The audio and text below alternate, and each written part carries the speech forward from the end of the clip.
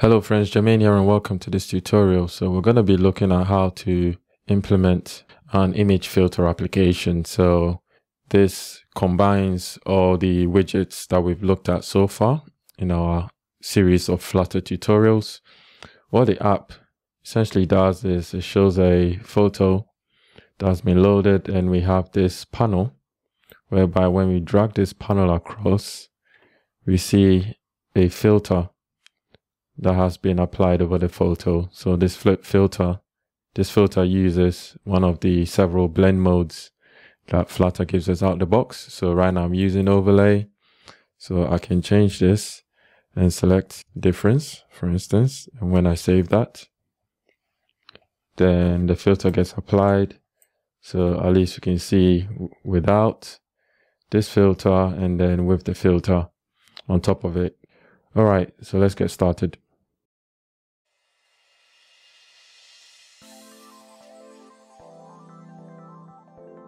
Okay, so I run the Flutter create command in my editor and I've been set up with this hello world example. So you should be familiar with this if you've set up any Flutter project before. If not, take a look at the documentation. It will show you how to set this up. I am going to clear all of this so that we can start from scratch.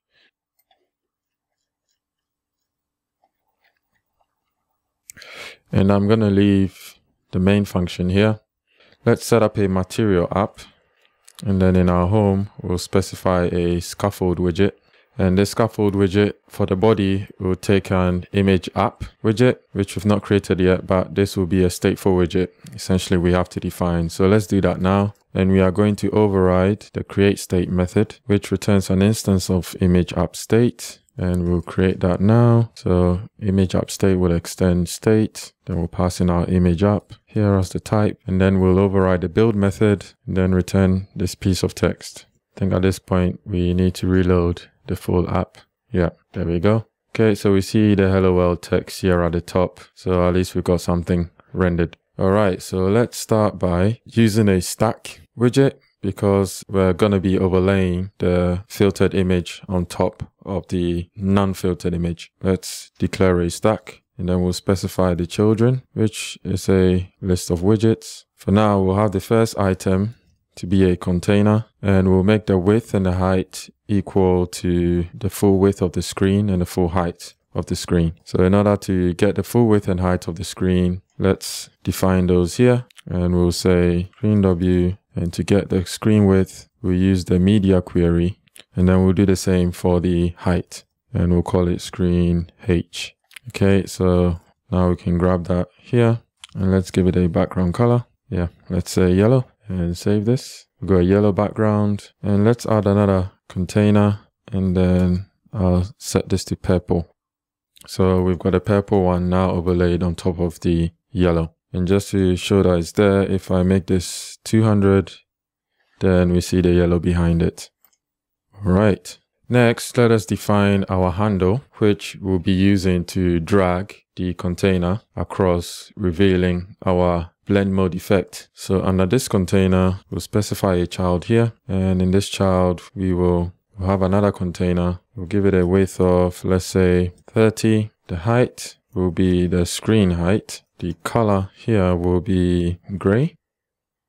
And then for the child, we'll give it an icon. Then the icon here would be a drag handle. So let's save that. And there's our icon. Okay, and it seems like it's not taking in our width because it's inheriting it from the parent. Let's in fact wrap this in an align widget. We'll take the container as the child and close that off here. And now we've got the width applied and we will adjust the alignment to the center right. That's over there now. So at least we're in a position whereby when we drag this across, that should affect the width of this purple container. With Flutter, we are given a gesture detector. So we use that to detect gestures such as mouse presses. We can use that to adjust the width of the container. So let's look at that. So we'll wrap this container with our gesture detector. This will take the container as the child. I'll close this off. And let's add some commas to improve the indentation. And at the moment, nothing would happen because we need to listen for some events. For example, we can listen for on tap and then I'll just print tapped into the console. So if we look at the debug console and I click on this, yeah, says tapped. So in fact, the event we want to listen for is not the tapped event. The event we want is on horizontal drag start and update. So for instance, update. This event gives us a details object containing details of our event. In fact, let's listen for the horizontal drag start event and then let's log out the details we want. So the details we'll get from this event is the global position. So that relates to where on the screen the event took place, this drag event. And from this global position, we get coordinates on the x axis and we get coordinates on the y axis. So we'll log that out and also we'll print out the local position. So this relates to where in the child the drag start event took place. So that's relative to this container itself, which is being wrapped with the gesture detector widget. So we can log out the x-axis for that too. So let me save that. And then let's look at our debug console. And I click and drag across, We've got these values. So 398 relates to where on this canvas I clicked and then 16.57 relates to where on this particular widget I clicked. Okay, so before we go any further, let us make the width of the container dynamic because we want to be automatically adjusting this based on how far we drag this handle. So I'll come up here and then I'll create a variable for our container width. And then let's start off with 30, in fact, so that it'll start here, then we drag it out. So I'll copy this container width and then I'll give it to this one. So let's save this. And okay, looks like that. And then we will start with the on horizontal drag update event. That still gives us these values. And then what we want to do, in fact, I'll start off with 100. What we want to do with these values is when we are dragging this, we want to take the global position that would be the distance from here to where I clicked with my mouse or with my finger. And then we also want to take the local position, which is from the start of this handle to where I've got my mouse clicked. And we want to do some calculations with that. So initially we'll I'll create a variable called offset width. And in here will be our details dot global position dot dx and then we will subtract our local position from that. And from this, we can calculate our updated width, and that'll be the result of our offset width plus the initial width of this container. So the initial width, we set it to 100, and then let's just do a set state afterwards. And in our set state, we'll set the container width to our updated width. And uh, let's try this out. So what happens when we drag? Okay, nothing happens. And let's just log out our offset width and our updated width. All right, so it's giving the same values. Reason why it's not working is because I made a silly mistake. So our container width property needs to be outside the build function. So let's place that here. And when we save, Uh, and we try it out. Yeah. So it's moving a bit now. But then there is a problem with this calculation, which is why it's shooting off that way. So let me hot restart and try this again. So when I hit and then I drag, it jumps ahead. One of the reasons is because this local position updates every time we drag this because on drag update we are getting the local position here so essentially the first thing we need to do is to retrieve this local position the very first time we interact with this handle so that would guarantee that the local position remains constant and that our mouse is on this handle while we're dragging it across. So I'll show you what that looks like. So in order to do that, we are going to create another property and we'll call it left start. We will define an on horizontal drag start event. We'll take in our details and then we'll update the left start property, which means that in here in calculating the offset width, we can just set the left start here. So let's save this. Let's get rid of this bit and let's see what happens. Okay, so it looks a bit better. So it's offset a bit. What if we add our left start? Okay, that looks good. Yeah, so this looks much better now. Right. So in fact, we can lose this bit and we'll just set it to offset width. Let's remove this, the print statement and simplify it. And let me restart it just so we can try again from scratch. Okay, there we go. Okay, so we need to check one thing because if we go to the edge, yeah, it stays there.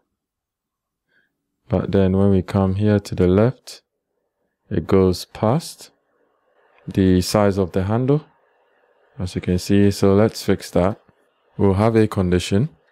Well, before we get to the condition, let's define a handle width. In fact, I'll make this final and move this to the top. So I'll copy this one and then I will place that here as such. And then over here, we can say if our offset width is less than the handle width, then let's set the container width to the width of our handle. And then at this point, we'll just return. So we'll not get to this bit. So let's save this. And let's give that a go.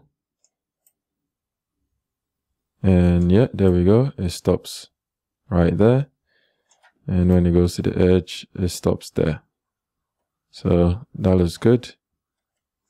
And to insert our images, let's come over here to this yellow container. We'll give it a child. And in this, and for our child, we'll load an image from the network. And then we need to specify a source. So we'll do that here. Specify a network image URL, which will be pick some photos. Now load in one of the images here and let's give it a width and a height. We'll specify our screen width and then our screen height. And then we'll pass this in here. And let's also give this image the same width and height as our container. And let's see. And let's hot restart. Okay, right, got a 400, which is because we are sending floating point numbers to that URL. So we can do, we can take the screen height and then convert it to an integer. And also this needs to be the screen width. And let's do the same conversion with the screen height as such. And let's try this again. Let's hot restart. It restarted the application and then we see the image here. Okay, so that's good. So secondly, we are going to load the same image in here as well. But before I do that, let me move things about a bit. So let's create another variable and I'll call it image URL and it will take the first part of this URL. And then here, we'll place that in there just so it's a bit more legible. And then I'll come here and copy this image. And the way we're going to place this in here, because we've got a container here and the image needs to go in there, but we have this align widget. So we are going to, we are going to create a stack widget and then we'll specify children, which will be a list of widgets. And then at the end of our line, we'll close it off and then end our stack. Let's save this. And before the align, we are going to insert our image. Or the image is forcing itself to the dimensions of our stack. And also the move still works. It only gets full size the bigger we make it, but this is not the effect we want. We need to set the fit and let's try box fit none.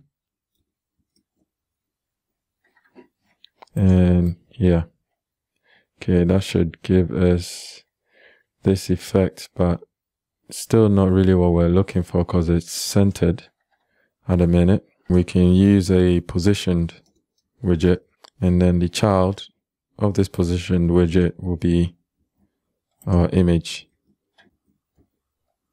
And then let's set the left of this to zero. Okay, so that seems to do it. Yeah, there we go. Okay, so the last thing we need to do to give the image the filtered effect is to wrap this in a colored filter widget. So colored filtered, colored filtered rather. So we'll give this a child, which will be our image. And we also need to specify a color, a color filter. So the value here would be, so the value here will be color filter dot mode it takes in a color and it takes in a blend mode. So the color, we can say, for instance, you can do green and then the blend mode, let's say darken. So if I save this, yeah, there we go. We've got a darkened green effect overlaid on top of the image. Of course, we can try the other blending modes we have, such as exclusion. So if I save this, then we get that. So that's pretty much it for the app. If you like, you can extend by adding a bit more features. So for instance, this blend mode, um, what we can do if you're interested in pursuing that or challenging yourself is to perhaps have a drop down with all these blend mode values. So the idea is that you'd select a blend mode value from the drop down and then that would affect this image. So if you're up for the challenge, you can give it a go. But that ends it here for the video. If you enjoyed this video, hit that like button, hit the subscribe button as well if you're not a subscriber, and hit the bell notification icon so that you don't miss out on any updates. If you've got any questions, also let me know down in the comments. I do respond to them, and I shall see you in the next video. Thank you.